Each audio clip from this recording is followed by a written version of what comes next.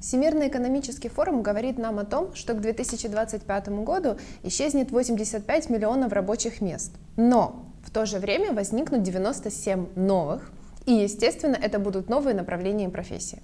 Карантин и пандемия как бы они ни происходили, подросткам все так же нужно выбирать профессиональное направление и чем заниматься по жизни дальше. Меня зовут Анна Резниченко, я специалист по профориентации, психотерапевт образовательного агентства «Карандаш». И если у вас в семье есть подростки, это видео для вас.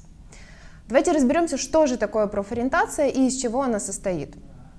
Мы верим в то, что профориентация — это выбор определенного образа жизни, реализации своих мечт и желаний. На пути к выбору профессии подростки проходят пять основных этапов — Первый – это информационный, знакомство с самими профессиями, что вообще происходит на рынке труда, какие существуют возможности, перспективы, страны, программы обучения и так далее.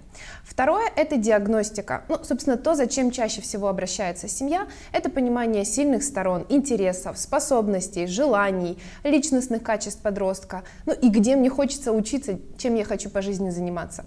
А третья часть – это повышение осознанности, чтобы профессия вам действительно нравилась, чтобы ваш сын или дочь получали большое удовольствие от, того, чем они занимаются.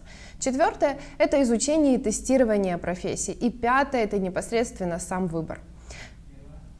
Мы верим в то, что выбор профессии – это выбор не просто тех задач и функций, которые я буду выполнять каждый день, и заработной платы, которую я за это получаю. Это выбор определенных смыслов и реализации в своей жизни – мы будем рады поработать с вашей семьей, поэтому регистрируйтесь под этим видео и до скорых встреч!